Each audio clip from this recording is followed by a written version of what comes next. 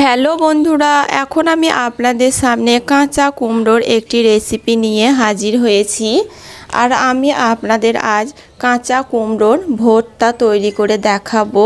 কাঁচা কুমড়োর ভর্তাটা বানাবার জন্য কুমড়োটা প্রথমে ছিলে পরিষ্কার জলে ধুয়ে নেব।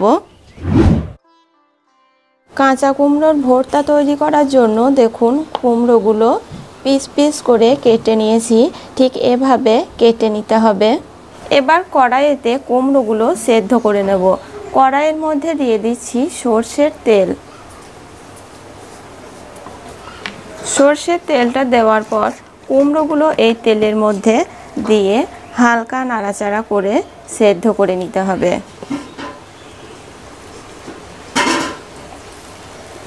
কুমড়োর পিসগুলো আমি কড়াইতে তেলের মধ্যে দিয়ে দিয়েছি। ভর্তা তৈরির জন্য দেখুন, দিয়ে নাড়াচাড়া করে কুমড়োগুলো সেদ্ধ করে নেব। এই দেখুন, আমি কাঁচা কুমড়োর পিসগুলো সেদ্ধ করে নিয়েছি। দেখুন, সেদ্ধ হয়ে গেছে। এবার তেল থেকে আমি কুমড়োর পিসগুলো তুলে নেব।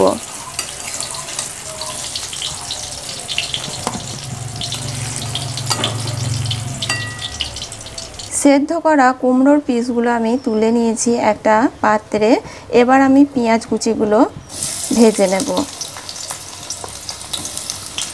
কিছু পেঁয়াজ কুচি কাঁচা রাখব আর কিছু গরম তেলে ভেজে নেব ভর্তায় দেওয়ার জন্য।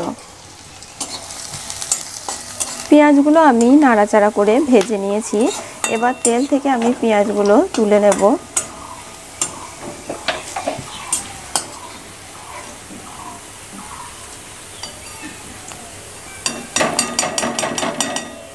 ভর্তা তৈরির জন্য এবার শুকনো লঙ্কাটা কড়াইতে ভেজে নেব। এবার কড়াই থেকে শুকনো লঙ্কাটা ভেজে তুলে নিচ্ছি। এবার ভর্তাটা আমি আপনাদের তৈরি করে দেখাবো। কাঁচা কুমড়োর ভর্তা কত সুন্দর লাগে দেখুন। লঙ্কাটা প্রথমে নুনের সঙ্গে এভাবে মিশিয়ে নেব। প্রথমে নুনের সঙ্গে লঙ্কাটা দেখুন ফেনে নিয়েছি। এবার কুমড়োগুলো এক এক করে হাত দিয়ে ম্যাশ করে নেব। দেখুন, আমি কুমড়োগুলো হাত দিয়ে ম্যাশ করে নিয়েছি। এবার পেঁয়াজের সঙ্গে, শুকনো লঙ্কাগুলোর সঙ্গে আর এই পেঁয়াজ কুচির সঙ্গে ভালো করে ভর্তাটা হাত দিয়ে মাখিয়ে নেব। এবার উপর থেকে একটু সর্ষের তেল দিয়ে দিচ্ছি। এভাবে ভর্তা আপনারা অবশ্যই একবার বানিয়ে দেখবেন। আর কেমন হয়েছে আমাকে কমেন্ট করে জানাবেন।